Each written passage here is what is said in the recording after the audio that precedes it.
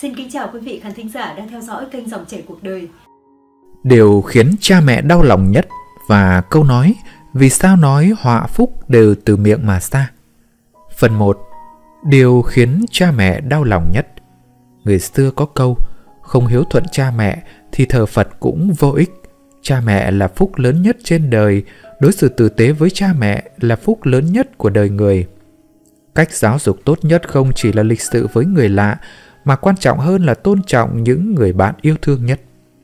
Khi chúng ta chập chững biết đi, mỗi lời nói, mỗi nụ cười và lời động viên của cha mẹ đều mang lại cho chúng ta niềm vui, niềm phấn khích lớn.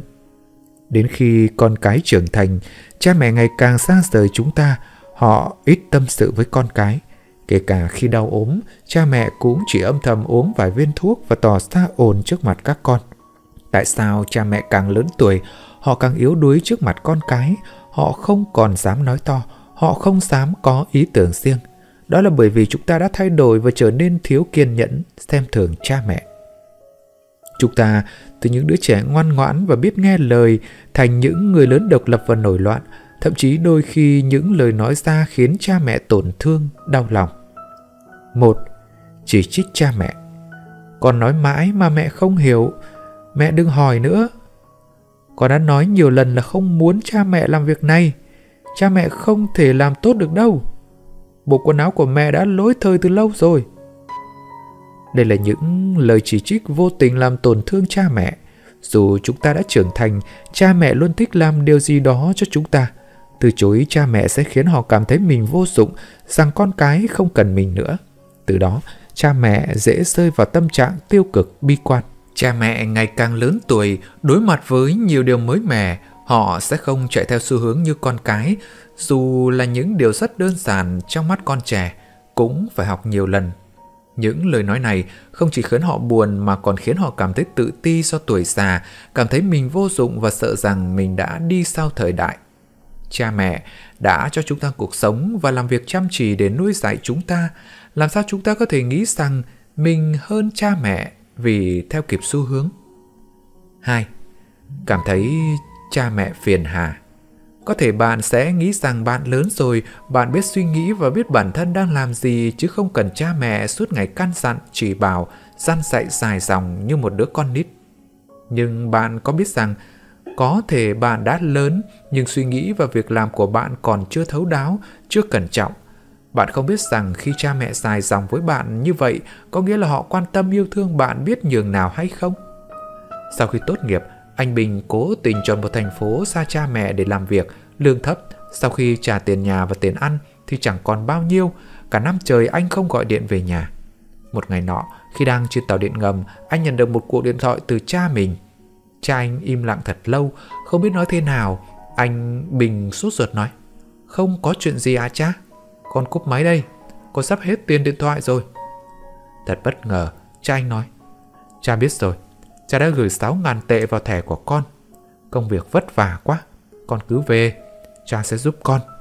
Những lời nói của cha khiến anh Bình bật khóc. Không để cha mẹ buồn phiền là cách báo hiếu tốt nhất. Chữ hiếu đã được chúng ta nói đến hàng nghìn năm nay, nhưng ít ai trong xã hội hiện đại coi trọng ý nghĩa của từ này. Bất cứ khi nào cha mẹ giáo dục chúng ta về điều gì đó, nhiều người sẽ nói Con biết, mẹ đừng nói nữa. Cùng nhiều những lời thiếu kiên nhẫn khác. Cha mẹ chỉ muốn chúng ta có cuộc sống tốt hơn mà thôi. Hãy quan tâm đến cha mẹ nhiều hơn và khi họ không còn quan tâm đến chúng ta vào một ngày nào đó, chúng ta sẽ thấy rằng cuộc sống thật buồn tẻ. Thực ra, họ không đòi hỏi gì nhiều, chỉ cần một tình yêu đơn giản, kiên nhẫn và ấm áp là đủ. Đừng đợi đến khi cha mẹ già đi rồi bạn mới chợt nhận ra rằng họ chính là người mà bạn nên yêu thương nhất. Thời gian có thể tàn nhẫn với họ, nhưng bạn phải nhẹ nhàng với họ vì cha mẹ là gốc rễ của chúng ta. Người xưa có câu, không hiếu thuận cha mẹ thì thờ Phật cũng vô ích. Cha mẹ là phúc lớn nhất trên đời, đối xử tử tế với cha mẹ là phúc lớn nhất của đời người. Phần 2. Vì sao nói họa phúc đều từ miệng mà ra? Lời ăn tiếng nói hàng ngày là phúc nhưng cũng có thể là họa. Vì thế, quản cho tốt cái miệng của mình cũng chính là giữ phúc đức cho bản thân vậy. Miệng có thể tích phúc tăng phú quý, cũng có thể làm tổn hao phúc báo, dẫu phúc khí lớn hơn nữa cũng sẽ vì thế mà mất đi. Một, đổ lỗi cho người khác. Trên đời này không có người nào hoàn hảo, ai cũng có khuyết điểm và mắc sai lầm, nhưng trong nhiều trường hợp khi đối mặt với lỗi lầm của người khác, chúng ta phải học cách khéo léo nói ra, thẳng thắn quá có thể làm tổn thương lòng tự trọng của đối phương, không cho người khác một chút thể diện cũng sẽ khiến đối phương xấu hổ. Tôi nhớ khi tôi mới vào công ty có một giám đốc kinh doanh, tuy anh rất giỏi nhưng lại là người khó tính, dù là ai thì cũng sẽ trách thẳng mặt cho dù mắc sai lầm gì. Trong một cuộc họp, cấp trên đã sơ suất một cách tình cờ, anh giám đốc kia đã lập tức chỉ ra lỗi sai, thậm chí mâu thuẫn với cấp trên. Cuối cùng, anh đã bị sa thải. Trong cuộc sống, chúng ta phải ăn nói có chừng mực khéo léo nói ra lỗi sai của người khác. Chỉ khi bạn tôn trọng họ, họ mới sẵn sàng chấp nhận yêu cầu của bạn hơn. Nhiều người nói năng không quản ngại, cho rằng lời nào mình nói ra cũng đúng nên sẽ tỏ ra kiêu căng. Đừng quá kiêu ngạo khi đối xử với người khác. 2. Để lộ bí mật những mối quan hệ thân thiết sẽ có nhiều chuyện riêng tư, nắm giữ của nhau nhiều bí mật. Nếu đối phương sẵn sàng nói cho bạn biết điều thầm kín trong lòng, điều đó thể hiện sự tin tưởng của họ dành cho bạn. Bạn không nên phản bội lòng tin của đối phương.